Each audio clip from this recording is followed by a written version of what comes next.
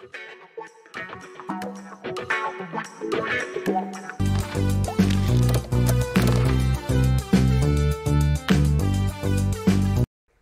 んにちはのり太郎です。最近お客様からのご相談でこれは安いけど買ってもいいのかっていうご相談を受けて受けることが多いんですがその中で明らかに詐欺サイトだっていうサイトが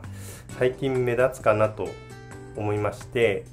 で今回はまあ皆様に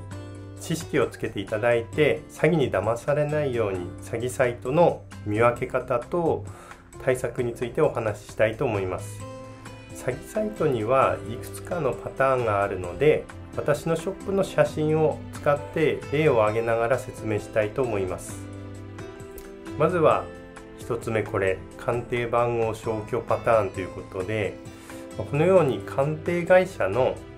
鑑定番号を消してあるパターンです。まずこの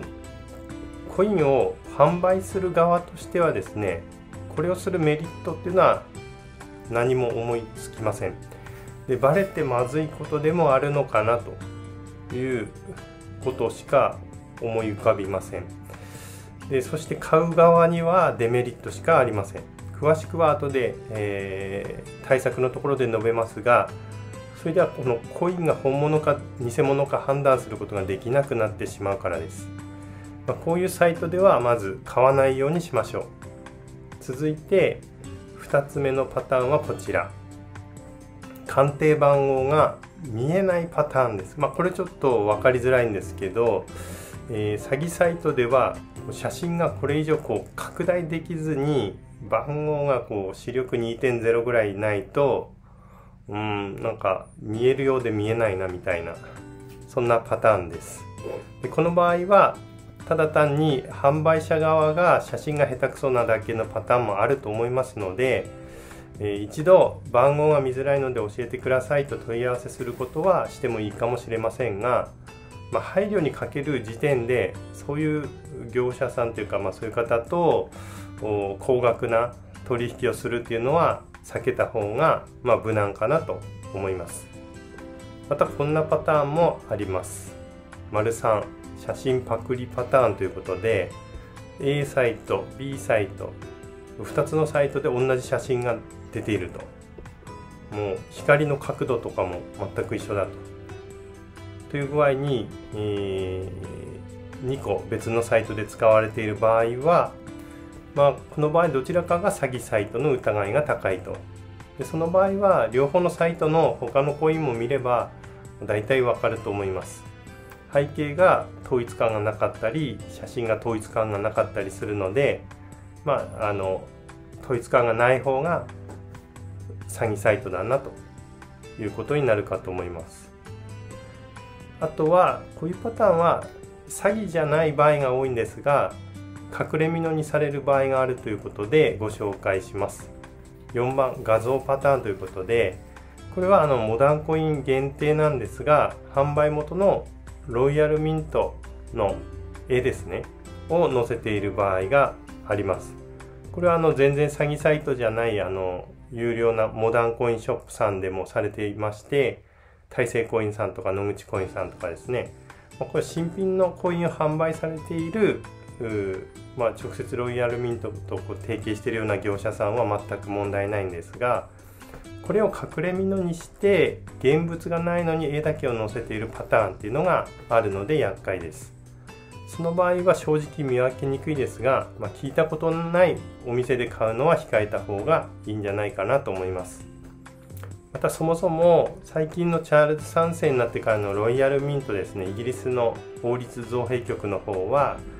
明らかに人気がないので、まあ、ロイヤルミントのホームページから直接あの新作のコインが買えますのでまずはそちらを見られた方がいいんじゃないかなと思います。ということでいろいろな詐欺サイトがあって怖いどうしようと思われた方も多いんじゃないでしょうか。では次にですね詐欺に遭わないためにはどうすればよいか、まあ、対策ですねをお伝えいたします。対策1としては詐欺パターンに当てはまっていないか確認ということで、まあ、先ほどのお伝えした4つのパターンですね。あのに当てはまっていないか。まあパターン4はちょっと別ですけど画像は新品の売ってる業者さんも使ってるので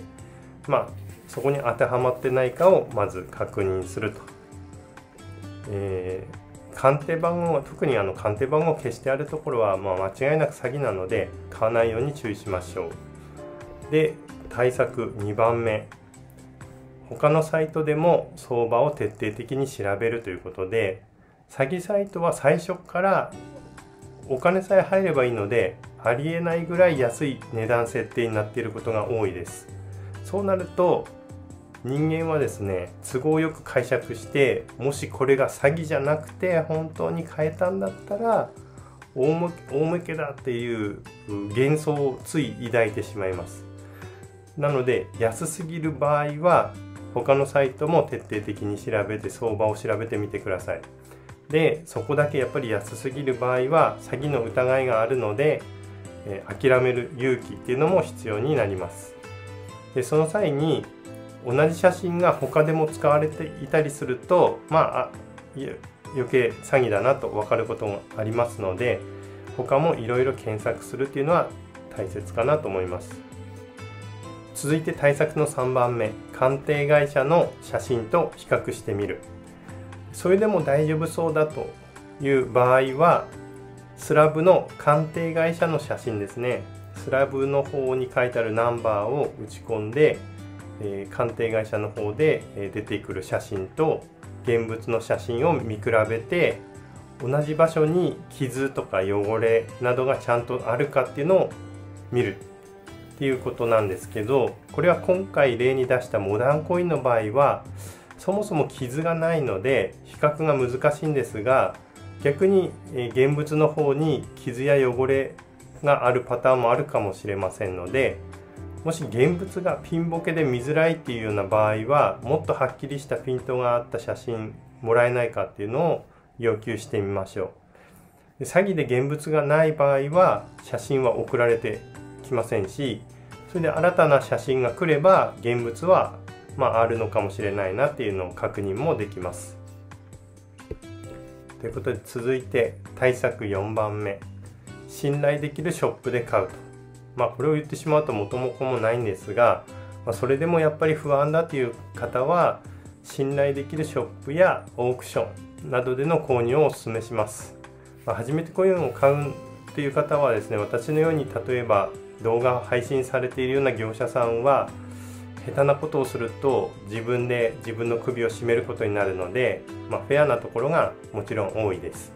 でもちろん動画配信されてなくてもドリームコインさんとかですねあのカチさんが動画で紹介されてますが、ま、動画配信されてなくても有料な業者さんの方の方がむしろそちらの方が老舗のダルマコインさんとかですねいっぱいありますので、えー、有料な業者さんがいっぱいあります。ただ最初は高いものを買わずに一度安い銀貨とかを買ってみて対応を見てみるっていうのも一つの手かなと思います。私のショップのように割引クーポンがもらえるかもしれませんので、えー、まあちょっと安いのを買うっていうのも一つの手かなと思います。あとはヤフオクとかメルカリっていうのはやっぱりしっかりした人が大半なんですけど詐欺も多いのでなかなかやっぱりおすすめできないかなと思います。でオークションであればヘリテージオークションとかモナコのガドリーオークションのようなものが一般の人も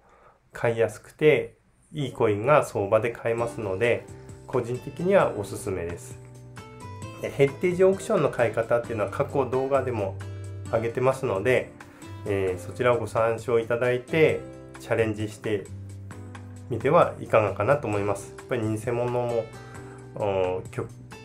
とんどないかなと思いますので鑑定済みのものに関してはまず偽物っていうのは、えー、ヘリテージオークション